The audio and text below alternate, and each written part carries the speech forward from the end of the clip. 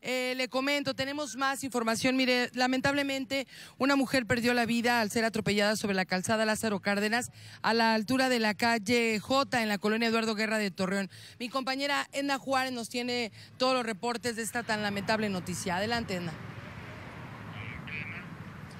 Y pues sí, así como tú lo mencionas, eh, Ruth, pues una noticia muy lamentable. Justamente nos encontramos aquí en la calzada Lázaro Cárdenas de la ciudad de Torreón, acá al suroriente de la ciudad, en donde una mujer al parecer de la tercera edad perdió la vida luego de ser eh, pues impactada por un automóvil blanco tipo Camaro con placas del estado de Coahuila la tarde de este jueves, como podemos ver, ya hay autoridades en el lugar. La mujer aún no ha sido identificada, sin embargo, algunos vecinos se han acercado porque parece ser que es un habitante de este mismo sector. Cabe señalar que estamos justamente entre la calle la calle J y la calle I, aquí en la colonia Eduardo Guerra de la ciudad de Torreón. También Ruth puede resaltar que es una vía que la verdad lo digo por experiencia propia, yo la tomo casi diario y la verdad es que nadie respeta los límites de velocidad. Es un sector también habitacional donde como podemos ver en las imágenes que nos está regalando mi compañero Milton Juárez, pues hay farmacias, hay establecimientos y los automóviles pues hacen caso omiso de esto y no le dan la preferencia al peatón. Lamentablemente esta ocasión pues perdió la vida una persona muy lamentable y estaremos aquí en el lugar para saber que, em, cuál es el, eh, pues la, identificación de esta mujer que hasta el momento, como te comento, las autoridades pues no han podido identificarla.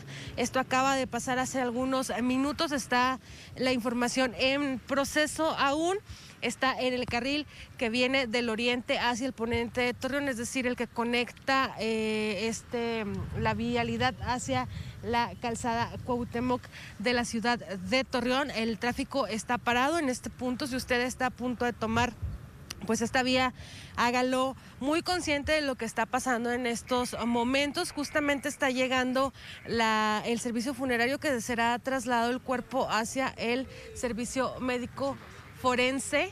Eh, están ahorita también los elementos de la Fiscalía General del Estado de Coahuila, pues realizando los peritajes, realizando la investigación correspondiente.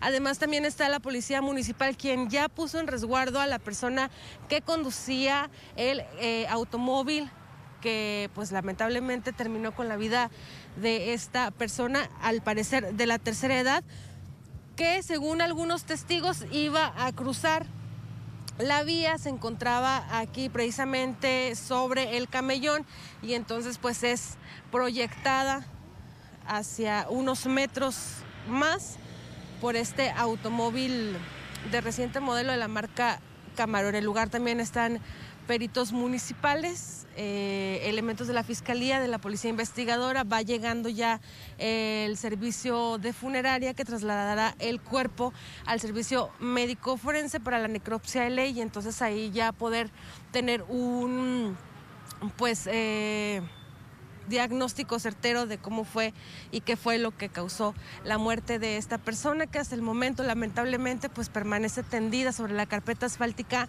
de la calzada Lázaro Cárdenas al suroriente de la ciudad de Torreón Ruth. Un hecho muy lamentable y más lamentable porque bueno pues sabemos que vienen las fiestas y seguramente esto es muy triste también para la familia, que bueno, decimos aún no es identificada esta persona, pero pues eventualmente será y es una pérdida muy lamentable y muy sensible, sobre todo por estas fechas.